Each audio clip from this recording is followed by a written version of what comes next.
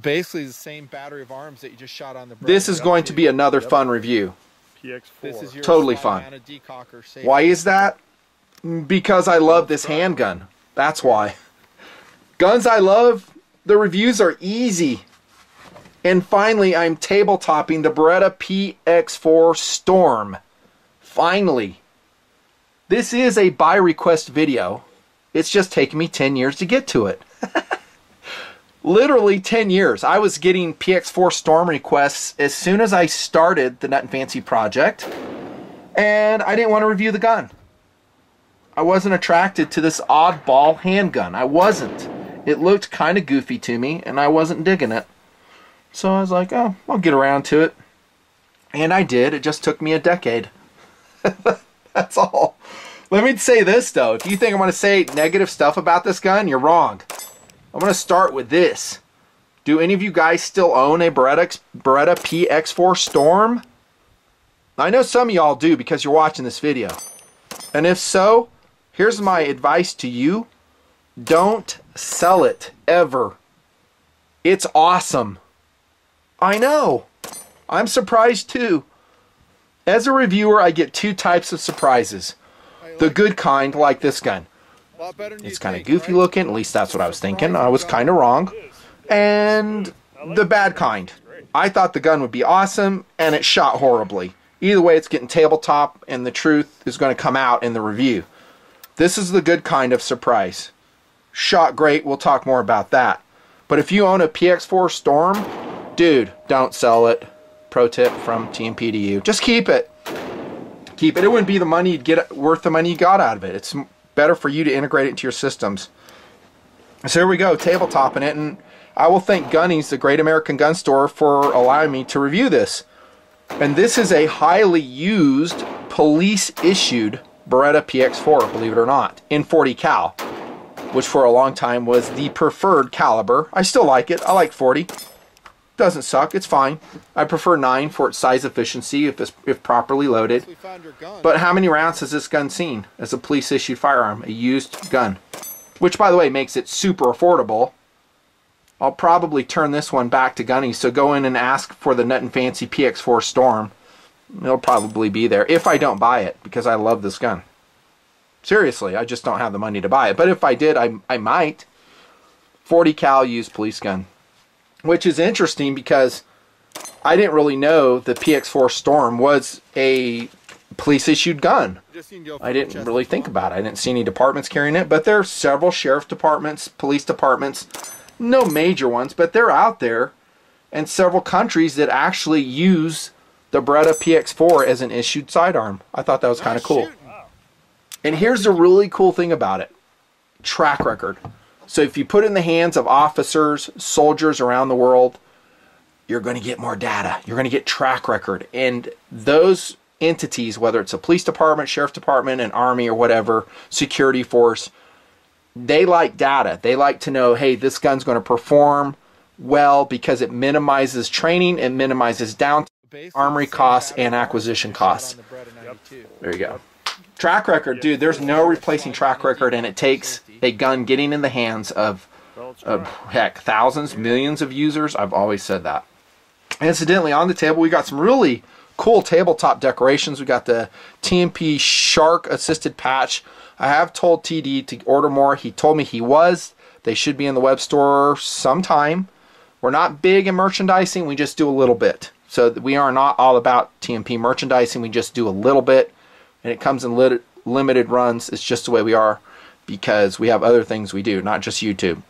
This is an OV10 patch, the kind my dad wore when he flew OV10s in Vietnam. Two tours as a forward air controller.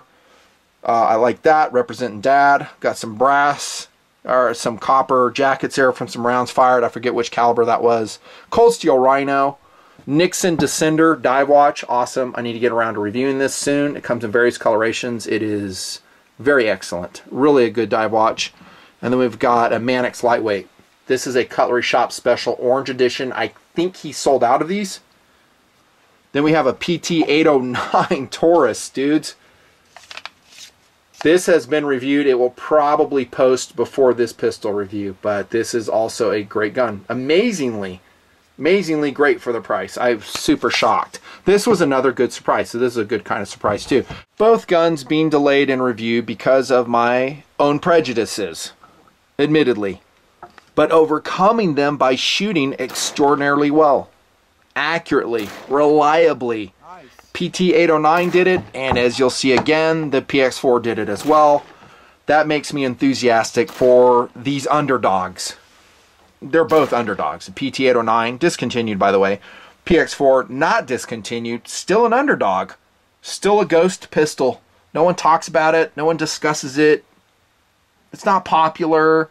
Who knows? Maybe this video will put it on guys' buying list again. And like I said, it is still available in various flavors. The Beretta PX4 Storm in 40 and 9mm. This again is a 40. They have a compact carry PX4 Storm. Has a larger magazine button. It's coated in sniper gray Cerakote, which is cool. I like that. And they say it's thinner. I haven't handled it and I haven't measured it, but I would always welcome a thinner pistol if I'm going to conceal carry POU it. Full size again, that's what this one is. They have a subcompact one which I'm not totally enthusiastic for because it's still kind of a thickness issue. And I say that about the Glock 26, 27 as well.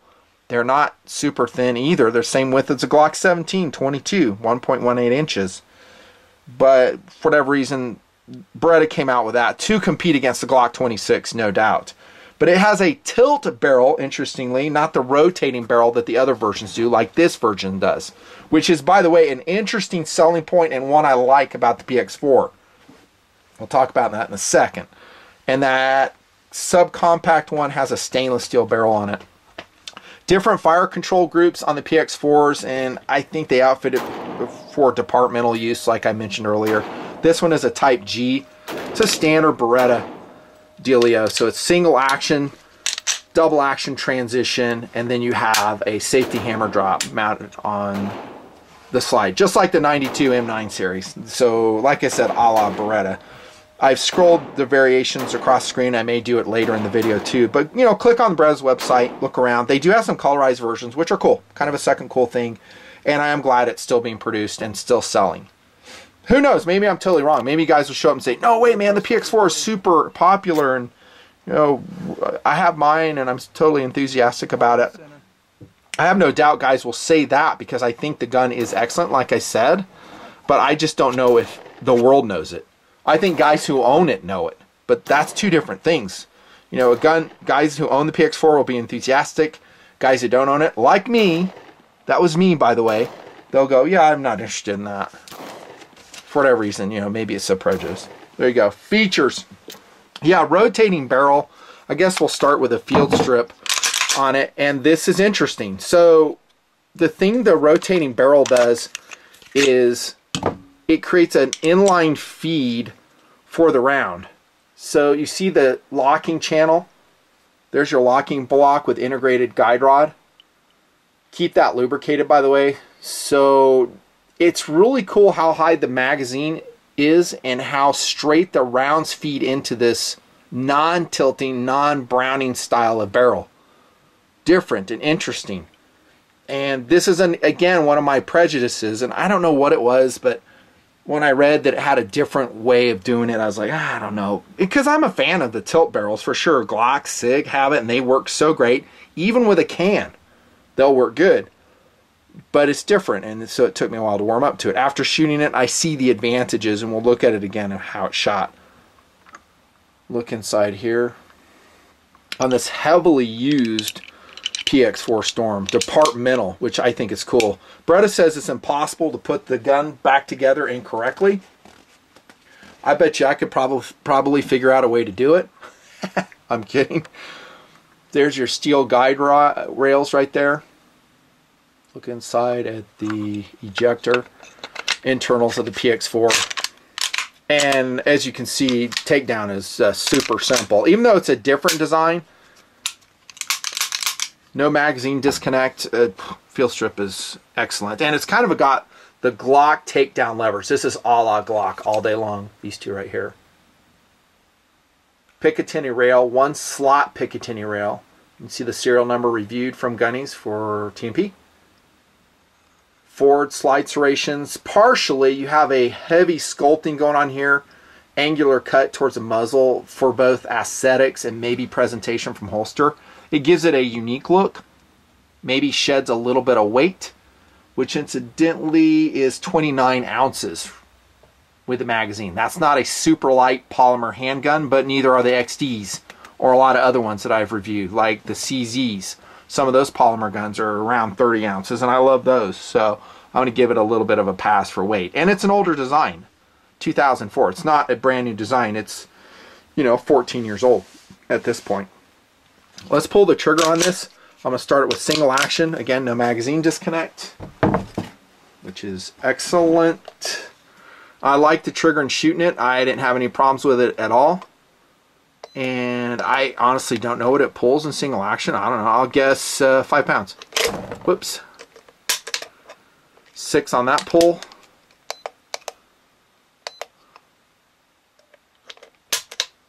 Okay, six to six, four. A little bit heavier than I thought. And then the double action will be beyond the measuring capability. It's probably going to be super heavy. I don't know, 15 pounds or something. Uh, but it's smooth. Let's check reset on this. Pretty short reset on the PX4. Not to modern, like the latest standards. Uh, like the latest standards would be a PPQ, a VP9, some of the other ones where reset be became a real issue with handgunners around this country at least. And so manufacturers answered and said, well, let's improve our reset on our trigger design. This predates that. Now, another thing I'll check too while we're here is trigger flex. There is some in the PX4. I'm holding the hammer, by the way, and just checking it. That's because it's a polymer trigger face. That's kind of a negative thing. I like aluminum or steel trigger faces for that reason. But with that said, I didn't really notice it in shooting it or pulling it right here on the table. I don't really see any flex going on to you. And that's in double action. In single action, definitely not. Here's your take up, by the way, in single action. There, there's quite a bit. There you go. Another minor criticism is the non-squared off trigger guard in the PX4 Storm. Not a showstopper, but I don't like it. I would put skateboard tape here. You guys know how I shoot. I'm weird that way. You guys won't care. Enough room in the trigger guard, no problem there. The magazine button is actually kind of small. It is reversible for lefties, and we do have the safety mounted on the slide for lefties as well. Hammer drop as well. So that's kind of cool. I mean, but it's a small button. I kind of wish it was a little bit larger. That's just me. Undercut on the polymer frame. The traction provided as is on the PX4 is probably a little bit lacking. You can see this one's a little bit polished from holster wear, from officer use. Again, this is a police gun. No modifications made to it, and that's pretty standard with PDs around the country. They're not going to put like grip stuff on it. They want to keep it simple. They want to keep it factory, and they'll, they'll order the gun the way they want it, and they run it just like that. It's just simpler that way. If it ever goes to court and an officer involved shooting, it's easier to defend. Uh, that's just the way it is. And guys will get into a conversation now. Well, it's the same way in a civilian too, and uh, they have a point. It, it is. This is a 40 again. The rounds with this one is 14 plus 1. In a 9mm, it's going to be 17 plus 1, so it's right there with the rest of its competition. Look in the heavily used magazine well of this PX4. No problems with the magazines or the base plates. Made in Italy, no big surprise there. Ring hammer on this the PX4. It's a little bit stubby, the hammer is, so if you ever do a thumb cock, it's it's probably probably not designed to be heavily used. The hammer on the PX4. No big surprise. It's a you know semi-automatic pistol. It's not designed that way, as opposed to I don't know a CZ75 for instance. This one is. This one's designed to be part of the battery of arms. Kind of an interesting philosophical thing there. Here's a look at the top of the slide. And the sights are adequate. I think this, these have the night sights on them. I wonder how old these tritiums are. They're probably Triges. Trijicon. I don't think they're Meprolites. They still glow adequately. I tried them in the night, but this is a PD gun, of course. That's why I had it. I don't like the, the shape of this. This is a cork. I like the safety on the on the slide. I don't like the mounting of that at any time. I've always said that. I even said that about the M9. but I can adapt. But this just has a sharp transition. So for you to grab it, you're doing this. So you're always here on the sharp edge. It, it could have been profiled so much better. I'm really surprised Beretta has not changed that. Maybe they have in the latest PX4s and I'm missing it. But I don't I don't like the, the shape of this at all. It's it's bad. It should be much more ergonomic. I mean, here again, CZ75 just because it's here, something shaped like this. That's an ergonomic safety lever there. Again, this doesn't kill the deal for me, but it's just a consideration. Uh, overall, the gun handles and points very well, surprisingly. And it is kind of the albatross concept. The albatross is a very large seabird. It can fly for hundreds and hundreds of miles, has a huge wingspan. You'll see albatross birds flying out in the ocean when there's no land anywhere. Very beautiful bird, seabird. But on the ground, they are ungainly. They have a hard time even taking off. They're falling on their face. They trip over themselves. Their big webbed feet. Albatross on the ground are just goofballs. But once they're airborne, they soar like the Dickens. so yeah, it's albatross concept with a Beretta PX4. And so we're pretty much done with features review and all that. Now how did it shoot? How about it was sublime? It was re totally reliable. There were no stoppages whatsoever, and it was supremely accurate. Again, getting back to the rotating barrel. Beretta says they have tested this 150,000 rounds, speaking of track record, without stoppages. I have no way of verifying that. I don't know, but I am inclined to believe them.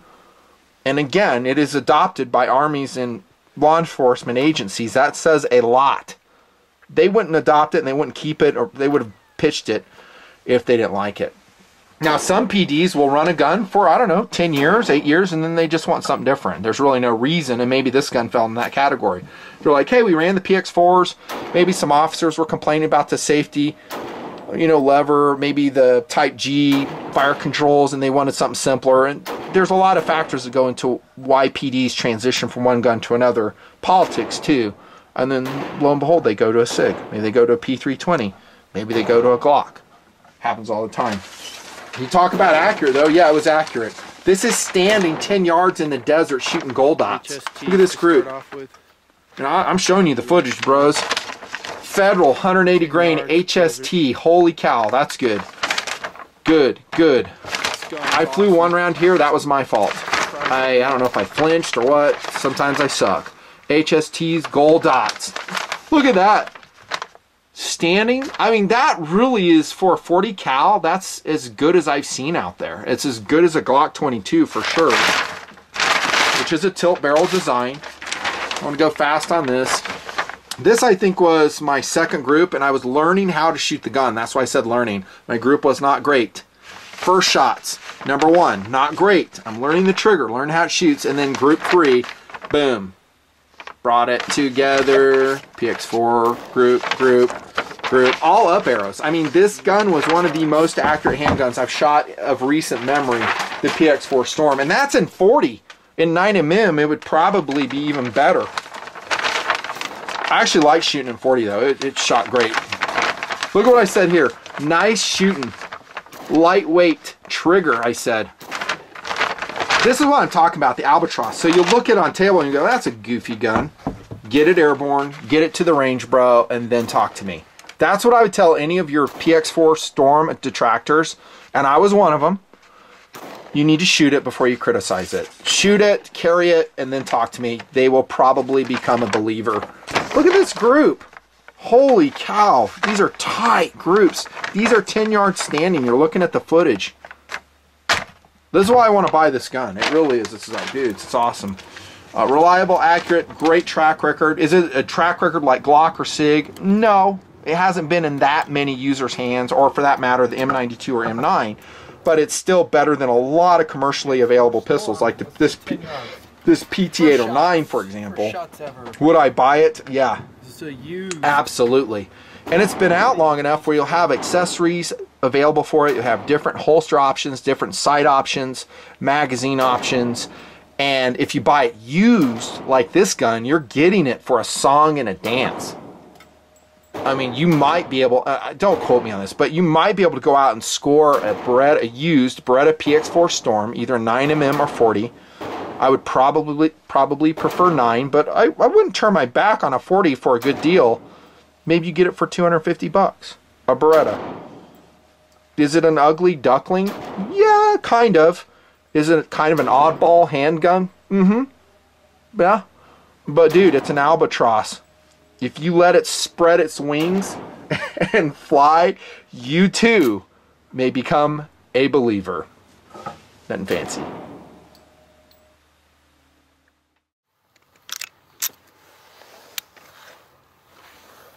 Okay, PX4 Jardine. here we go.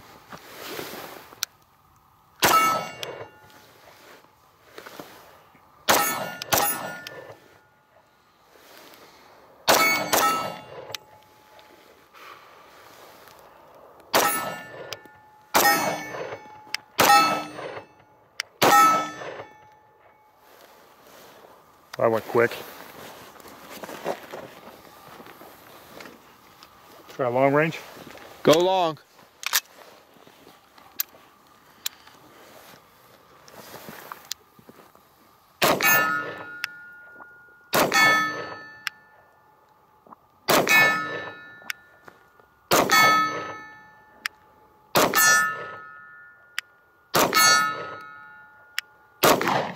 Nice.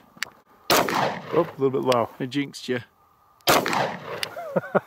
Still short.